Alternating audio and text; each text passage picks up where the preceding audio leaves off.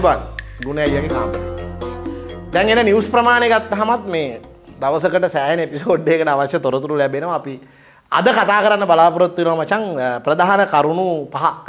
පළවෙනි එක පහුගිය දවස්වල අපි කියපු අනාවැකියක් සනාථ කරමින් තලත අතුකෝරල මන්ත්‍රීතුමිය මන්ත්‍රී ධූරයෙන් අද ඉල්ලාස් වුණා. දෙවැනි එක හරිනි අමරසූරියට තිස්ස අත්තනායක කරපු චෝදනාවක් ගැන අපිට කතා කරන්න තියෙනවා. සරත් පොන්සේකා හන්දි ගානේ ආතල් එකක් දීගෙන යනවා. ඒ ගැනත් අපි කතා කරන්න ඕනේ. මේ හදිස්සියේ හෝගාලා පටපට ගාලා සටසට ගාලා අනුර කුමාර පන්සල් පන්සල් යන්න පටන් අරන් තියෙනවා. අපි ඒ ගැනත් පොඩ්ඩක් කතා කරන්න ඕනේ. ඒ වගේම තමයි දිගම්බරම් මහතාගේ ඇඟ කිලිපොලා යන සටන් ජවනිකාව ගැනත් චුට්ටක් අපි කතා කරනවා. බලමු මොනවද කතා කරන්න තියෙන්නේ කියලා. මිත්‍රවරුනි කවුරු ජනාධිපති වුණත් අවුරුදු දොළහකට වැඩි කාලයක් මහජන විශ්වාසය දිනාගත්ත අපි තමයි thermal bill printers barcode printers barcode readers POS systems cash drawers වගේ බිස්නස් වලට ඕන කරන දේවල් කෙලින්ම ආනයනය කරලා වගකීමක් එක්ක අඩුම මිලට දෙන්න කියලා මතක් කරන්න කැමති. අපි ඔෆිස් ප්‍රින්ටර්ස්.lk රත්නපුර දිස්ත්‍රික් පාර්ලිමේන්තු මන්ත්‍රීනී තලත අතුකෝරල හිටපු අමාත්‍යතුමිය වර්තමාන සජබ පාර්ලිමේන්තු මන්ත්‍රීතුමිය මන්ත්‍රී දූරය හැරදාල යන බව අද පාර්ලිමේන්තුවේදී නිල වශයෙන් ප්‍රකාශ කරා විශාල දීර්ඝ කරුණු පැහැදිලි කිරීමක් එක්ක ඒ පිළිබඳව ලැබුණු ආරංචි ඔබට අපි දැන්ට සතියකට දවස් 10කට විතර කලිනුත් කිව්වා. ඉතින් අපි ඒ ගැන දීර්ඝ වශයෙන් අද මං හිතන්නේ අපි කතා කරන්න ඕනේ කියලා අපි ඒක වෙන දවසක බලමු. ඒකට හේතුව එතුමියගේ කතාව හැමෝම අද අහන්න ඇති. ඉතින් අපි ප්‍රවෘත්තියක් විදිහට ඒක නැවත පොඩ්ඩක් දේශපාලන සිද්ධියක් විදිහට විතරක් මතක් කරලා ඉක්මනට ඊළඟ එකට යනවා. මොකද ඒ තරම් කතා කරන්න ಜಾති වැඩි මචං. මට ඊට වඩා රසබර ಜಾති අද තියෙනවා. පළවෙනි එක තමයි මේ සරත් ෆොන්සේකා රැස්වීමක් කරලා ෆේස්බුක් එකේ මේ සෑහෙන වෛරල් වෙලා තියෙනවා මේ ඒ රැස්වීමේ සෙනග හිටපු නැති එක ගැන නෙමෙයි මගේ චූන් කලාපේ තියෙන්නේ. මගේ චූන් එක තියෙන්නේ මේ ෆොන්සේකා ඒ ස්ටේජ් එක ගාව පැත්තකින් අර කැරියර් එක ගෙනල්ලා මේ අර ෆර්ජෝ කාර් එක ෆොන්සේකට බෝම්බ ගහපු වෙලාවෙ හිටපු කාර් එක ප්‍රදර්ශනය කරමින් මේ රැස්වීම් කරනවා කියලා දැකපුහම මට ආපු චූන් එක තමයි දැම්මම් මේ අද කතා කරන්න හදන්නේ. ඕවට නිකන් සාහිත්‍යයෙන් අපේ ඉතිහාසයෙන් බෞද්ධකමින් කියනවා නම් නපුරු කලට සතහට පැමිණෙත වෙහෙස එදුරු නොවේයි කළ පව්පල දෙවා මිස කියලා තමයි වර්ණ කියවන් වල තියෙන්නේ මේ නපුරු කාලයට ෆොන්සේකට හිතෙන ඒවා කියලා මට හිතෙන්නේ මේ ෆොන්සේකාගේ කාර් එක මට මේ එකක් පැහැදිලි කරගන්න ඕනි මේ කාර් එක පැත්තකින් ගෙනල්ලා ස්ටේජ් එකයිනේ ඔහොම නතර කරලා තියෙන එක. සරත් ෆොන්සේකා මහත්තයාටම හිතිච්ච එකක්ද? එහෙම නැත්නම් සරත් පොන්සේකා මහත්තයාගේ කැම්පේන් එක ප්ලෑන් කරන කවුරු හරි කරපු එකක්ද කියලා මොකද මගේ මෑත කාලයේ දේශපාලන ජීවිතේ මම දැකපු ගෝතම ගොබ්බම ගොම්ම පචම කිචම මාකටිං කැම්පේන් එක විදිහට තමයි මම ඒක කියන්නේ. මට මතක් වුණා කතාවක් බං ඕක කියනකොට මේ ඒ කියන්නේ ඒ ඒ ජාතිය ඒ කියන්නේ කිසි දිගක් පළලක් හිතන්නේ නැතුව කරන සමහර වැඩ තියෙනවනේ අර පොඩි එකෙකුට කිව්වලු ටීචර් මේ ගෙදර තියෙන පොඩි මොනවා හරි මේ සයන්ස් පීරියඩ් එකට පාවිච්චි කරන්න පුළුවන් ගෙදර තියෙන මොනවා හරි විද්‍යාත්මක උපකරණයක් අරන් එන්න කියලා. හරි? ඉතින් එකෙක් එනවලු මචං පහුවෙන්ද ඉස්කෝලේ මේ හෙන්න ඔක්සිජන් ටැංකියකුයි අර මන් දන්න ඒවට කියන නම් හරි අර මේ මූණට හයි කරන එකයි අරම මේවා ටිකක් අරගෙන එනවලු. තියාගෙන කරේ තියාගෙන එනවලු ටීචර් ඇහුවලු මේ පුතේ මේ පොඩියවනේ ගේන්නේ මේ මේ මේ මොකද්ද කියලා. ඔය ටීචර් මේ මං ඉතින් ගෙදර තියෙන එක ගෙනාවෝ. ඔයාට කොහෙන්ද මේක කියලා ඇහුවලු. මේ නෑ ටීචර් මේ අපේ 100ට ගහලා තිබ්බ එක මම මං ගලවන් ගලවන් ආවකුවලු. මොකුත් කීවෙත් නෑ 100 ගොල්ලෝ හක් ගාලා දෙපාරක් ගැස්සුනා ගොල්ලෝ එච්චරයි. ඒක තමයි පොඩි එකා විද්‍යාත්මක උපකරණ ඉස්කෝලේ අරන් ගිහලා තියෙන්නේ. ගෙදර 100ට ගහලා තිබ්බේ. හරි. ඒ වගේ දිග පළල හිතන්නේ නැතුව මචං. හරි. මේ මේ දැන් හිතහල්ලක පොඩ්ඩක් මේ මේ ෆීල්ඩ් මාෂල් කෙනෙක් ඈ. තාම අර යුද මානසිකත්වයෙන් ගැලවෙන්න බැරුව ඉන්න එක. ඒ කියන්නේ මේ තමන්ට බෝම්බ වැදිච්ච කාර් එක ගෙනල්ලා පෙන්නනවා කියන එක අර බස් වලට නගිනවනේ බං මිනිස්සු. අපි මේ මේ යාචකයෝ නැගලා උන් උනුත් ඔය වගේ ඒවා කියනවා. ඒකේ මේකේ ලොකු වෙනසක් නැහැ. උන් කියනවා අම්මේ තාත්තේ අයියා කේ නැන්දේ මාමේ යාචකයෙක් හිඟන්නේ කියලා හිතන්න එපා. අපේ තාත්තා පොල් ගහින් වැටලා අම්මට අපස්මාරය ඇදිලා ඉස්කෝලේ යන නංගි මල්ලි තමයි අපි ජීවත් වෙන්නේ බොහොම අමාරුවෙන්. හොඳයි සාධාරණයි කියලා හිතනවා නම් අයියේ අක්කේ රුපියල් 5ක් දෙන්න අපිට ජීවත් වෙන්න. මේ බලන්න මේ මගේ කකුල කියලා මෙහෙම පෙන්නලා මචං මොකක් හරි දදයක් හරි කුස්තයක් හරි පෙන්නලා රුපියල් 5 5 එකතු කර ගන්නවා. එහෙම නැත්නම් මේ ක්ලචස් වලින් බස් වලට නගිනවා. මොනවා හරි Tamanට වෙච්ච කලබෑගෑනියක් අබ්බ මොනවා හරි එහෙම වෙච්ච දෙයක් ගහකින් වැටිච්ච එකක් ජීවිතේ වෙච්ච අලකලංචියක් පෙන්වලා ජීවත් වෙනවා. ඉතින් සරස් ෆොන්සේක මහත්තයාට හිතෙනවද දන්නේ එහෙම නිකම් බං අර මේ යාචකයෝ මේට අනුකම්පා හිතලා අපි නිකන් ක්ලචස් වලින් ආවහම අර වගේ තාත්තා පොල් ගහෙන් වැටලා අම්මට අපස්මාරය හැදිලා කියලා කිව්වහම දද කුෂ්ඨ පෙන්නුවාම සල්ලි දෙනවා වගේ එහෙම කාර් එකක් ගෙනල්ලා නැත්නම් මිනිස්සු ඡන්දෙ දෙනවා කියලා හිතන එක මුඹල පොඩ්ඩක් හිතලා බලහල්ලා අපි ওই ෆොන්සේකා වෙනම ජනාධිපතිවරණයට ඉල්ලනවා කියලා කියනකොටම ඒ දවස්වලත් උඹලට මතක ඇති මං කිව්වා මේ ලොකු විපත් විපත්තියකට තමයි ෆොන්සේකා මහත්තයා මුල පුරන්නේ කියලා. පතාක යෝධයෝ බං පරඬැල් වගේ මහා පොළොවට පස් වෙලා යන හැටි දැක්කාම මේ ඇත්තටම මම මේ hina වෙලා කිව්වට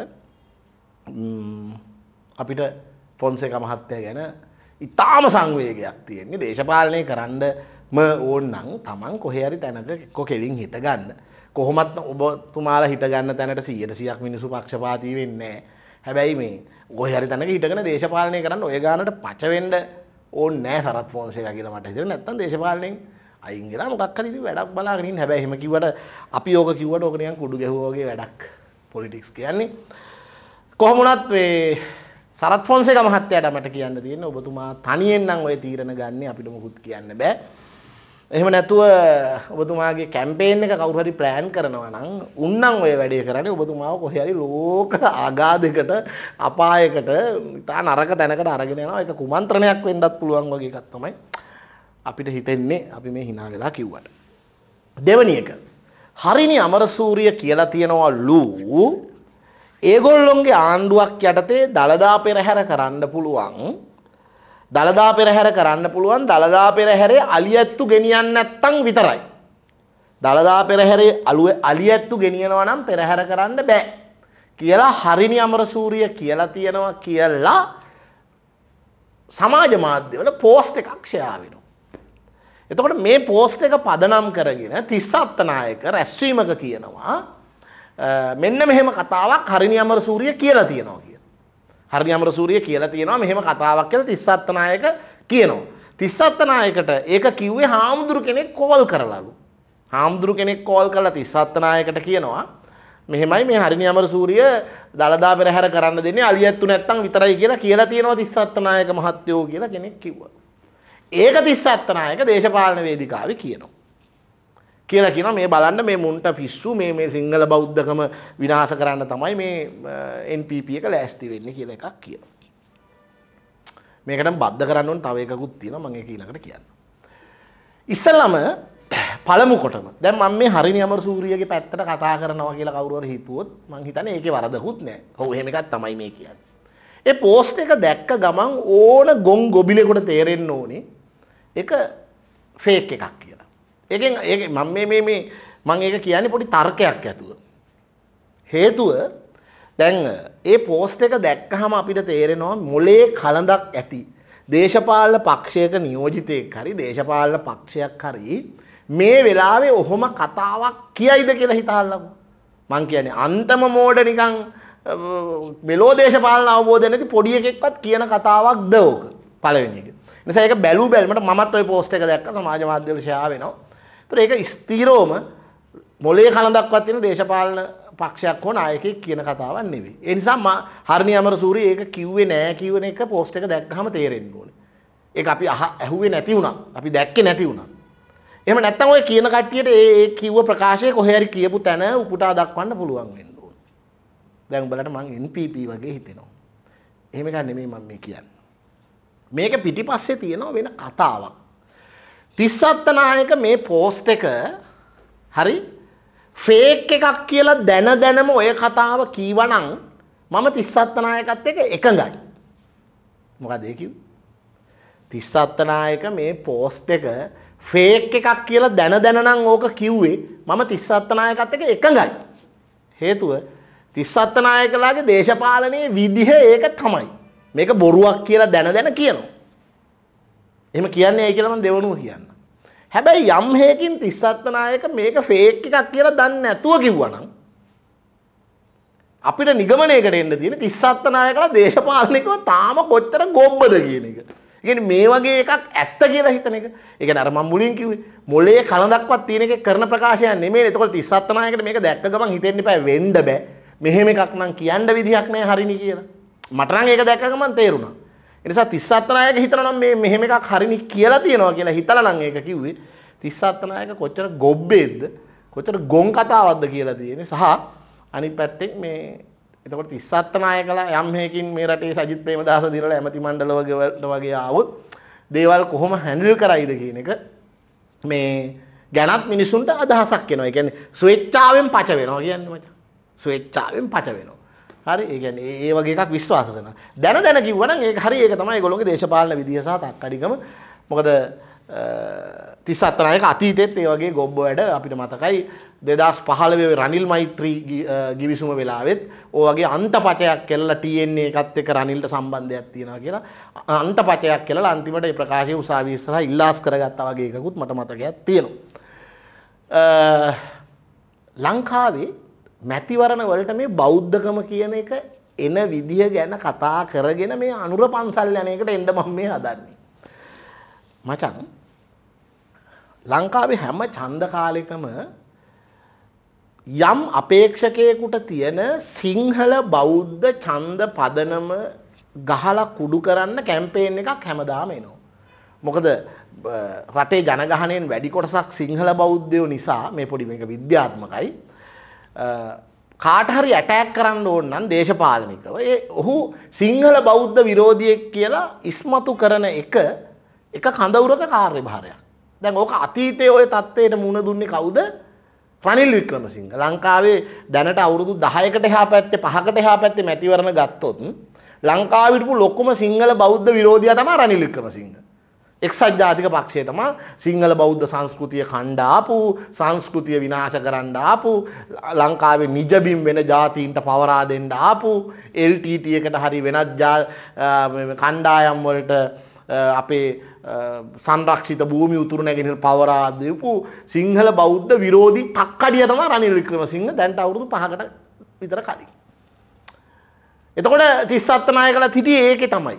ඒ කියන්නේ මං කියන්නේ දේශපාලන වේදිකාවේ රනිල් තමයි තක්කඩිය වෙලා හිටියේ බෞද්ධයන්ට එරෙහි. දැන් බෞද්ධයන්ට එරෙහි තක්කඩියා බවට පෙන්වන්න හදන්නේ අනුර කුමාර දිසානායක සහ NPP එක. ඒ හින්දා තමයි 37 නායකලා සහ මේ කැම්පේන් කරන අය මේ NPP එකට සිංහල බෞද්ධ විරෝධයක් NPP එක ඇතුලේ තියෙනවා. පන්සල් යන්න දෙන එකක් නැහැ, පෙරහැරවල් කරන්න දෙන එකක් නැහැ. වගේ එකකට කැම්පේන් හදන්නේ. හරි. ඒක ඉතින් ටිකක් පරණ කන්සෙප්ට් එකක්, පරණ ස්ට්‍රැටජි එකක් කියලා තමයි අපිට කියන්න තියෙන්නේ. හැබැයි අනුරත් ගේම අතාරින්නේ හරි. ඒකෙත් තියෙනවා මේ NPP එකටත් කියන්න පොඩි කතාවක් තියෙනවා. අනුරත් බැලුවා දැන් මේ සිංහල බෞද්ධ විරෝධී වගේ එකක් එනවා. අනුර මොකද කරේ? හිටු කියලා පන්සල් යන්න පටන් ගත්තා. දැන් 100 ගානට පන්සල් යනවා. ඒක ගැන පොඩි දෙයක් තියෙනවා. අනුර සහෝදරයා අනුර මහත්මයා අපේක්ෂකතුමා අපිට කියන්න. ඒ තමයි NPP එක දේශපාලන ව්‍යාපාරයක් විදිහට විකල්ප ධාරාවේ හතරවෙනි පස්වෙනි තුන්වෙනි හතරවෙනි පස්වෙනි තැන ඉන්නකොට ලොකුවට පන්සල් ගානේ බඩ ගන්න ඕනේ තමයි. හැබැයි දැන් NPP එක මහා ප්‍රවාහයට එකතු වෙලා නේ තියෙන නිකන්. ඡන්දේ දිනන ප්‍රධාන අපේක්ෂකයෝ දෙතුන් දෙනා අතර ෆයිට් එකේ ඉන්න හින්දා මේ මහා ප්‍රවාහයේ තියෙන සමහර සමහර සියුම් තැන් වලට කැමැත්තෙන් හෝ අකමැත්තෙන් එන්න වෙනවා. අපි දන්නේ ඒක අකමැත්තෙන්ද කැමැත්තෙන්ද කියලා. අපි කැමැත්තෙන් කියලා හිතමුකෝ. හැබැයි මේ අනුර කුමාර දිසානායක මහත්තයා පන්සල් යනකොට අපිට පොඩි බයක් එනවා. ඒ තමයි ඔය පන්සල් ගමන කොහෙන් නතර වෙයිද කියලා. ලංකාවේ පහුගිය කාලේ අපේක්ෂකයෝ ජනාධිපතිවරු ඔහොම පන්සල් ගිහිල්ලා ගිහිල්ලා ගිහිල්ලා ගිහිල්ලා එක තැනකදී පන්සලට ඕන විදියට හාමුදුරුවරුන්ට ඕන විදියට පූජකයන්ට ඕන විදියට සාමිලට ඕන විදියට රට පාලනය කරන තත්ත්වයකට ආවා. එසා අවසානයේ බෞද්ධකමට පන්සිල් ගියා හරි නැත්තම් කෝවිලකට ගියා හරි එහෙම නැත්තම් දේවාලයකට ගියා හරි මොකක් හරි සංස්කෘතිකම වටිනාකමකට යනවා වෙනුවට ඔවුන් තමන්ගේ උපදේශකවරු බවට පත් කරගත්තා. ඒ නිසා පූජක උතුමන්ලා ස්ටේජ් වලට ඇවිල්ලා කියන්න ගත්තා අපිට හිට්ලර් කෙනෙක් දෙන්න කියලා. සමහර අය තමන්ගේ ඓතිහාසික නිජභූමි පූජාභූමි පාවිච්චි කරලා ගම්පතුලෙන් නයිස් මතු කරලා පොහොට්ටු බෙදුවා. ඒ තත්ත්වෙට දේශපාලන බලාධිකාරිය පූජකයෝ අරගෙන පූජකයා උඩට ඇවිත් පාලකයා දෙවනුවට වැටලා පාලකයාගේ ප්‍රධාන උපදේශකවරු පූජකය බවට පත් වෙලා පූජකයන්ට ඕන විදිහට රට පාලනය කරනවා වගේ එක තැනකට ආවා. අපි NPP එකට සහන්ඩ කුමාර දිසානායකට කියන්න කැමති. ඔව් මේ රටේ පූජකයෝ හාමුදුරුවරු ෆාදර්ස්ලා නැත්තම් කෝවිල්වල එන ස්වාමිලා මවුලවිලා මේ රටේ අපේ මේ මේ සංස්කෘතියේ එක කෑල්ලක් තමයි. හැබැයි ওই පන්සල් යන එක එක තැනකින් කරුණා කරලා නවත්ත ගන්න වෙයි. දැන් ওই යන විදිහට අපිට බය හිතෙනවා.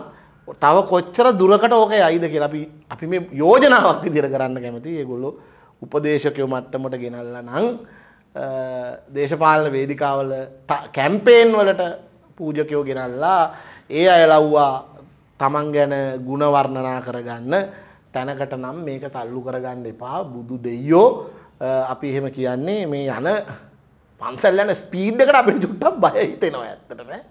මොකද අපිට තියෙන පරණ අත්දැකීම් ඊටාම නීරසයි තාම එහෙම වෙලා නැහැ.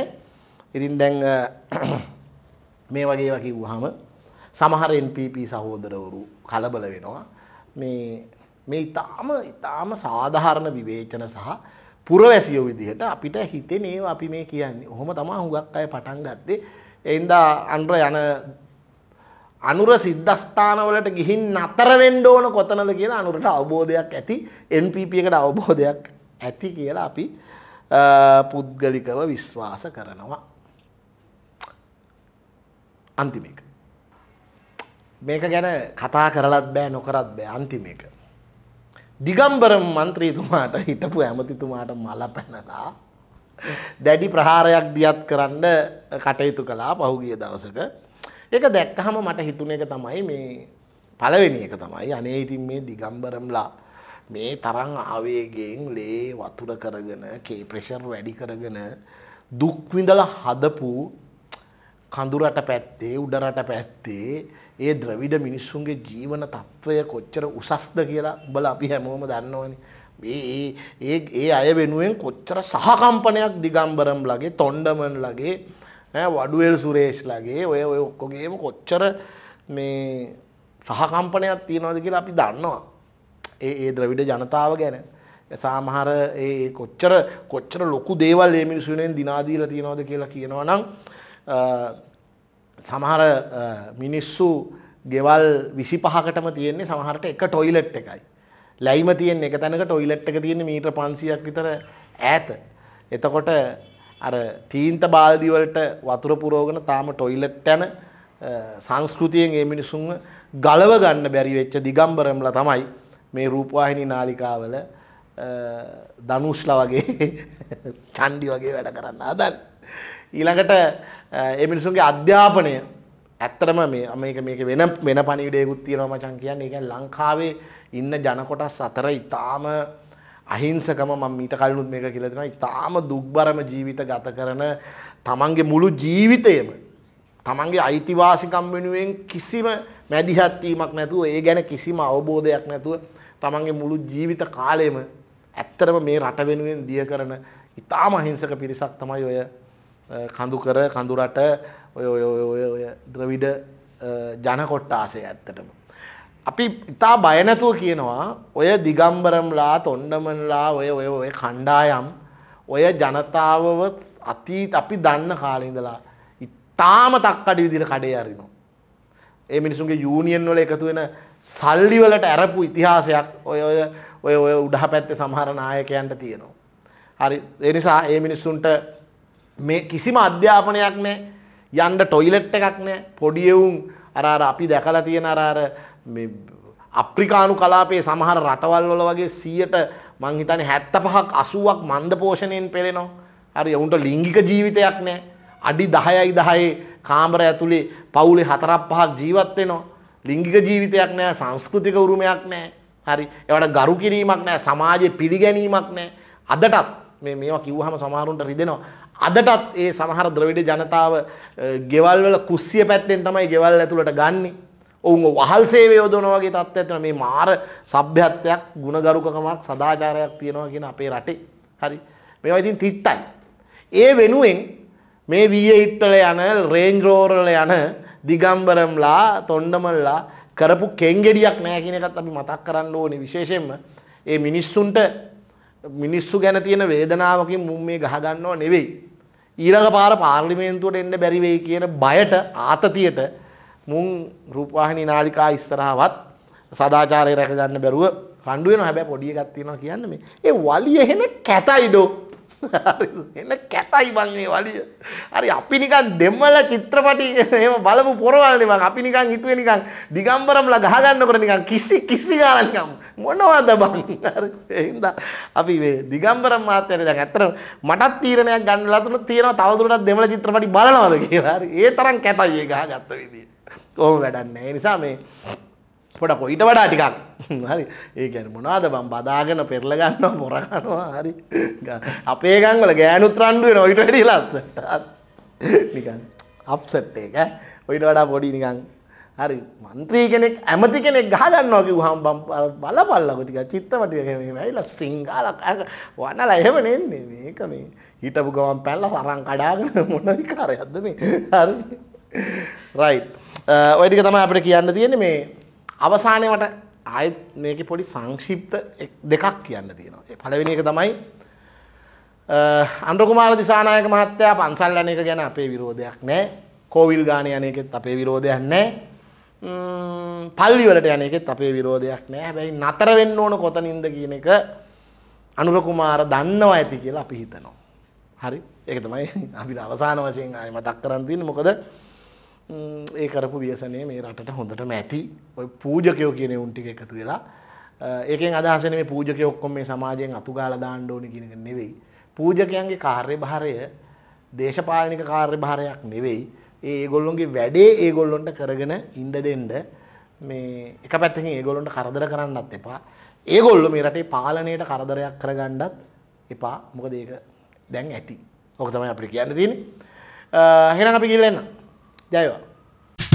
අලි මචන් මේ බලගා ප්‍රින්ට ටෝලස් තියෙන පින්ට ටෝලස් තියෙන තියෙන කියද මචන් මේක? දෙදා සත්සේ පනයිස යකෝ බත් කාලකයවත් පාඩු නෑන බන් ටෝනර එකක් කියකිතර වදිද කොල කොල එක්දස් පන්සයක් ගන්න පුල මම ඉන්න ඔෆිස් පින්ටස්.ලක කිරිබත් ගොඩ බ්‍රාංචක ඕන පින්ටර එකට ටෝනස් තියෙනවා.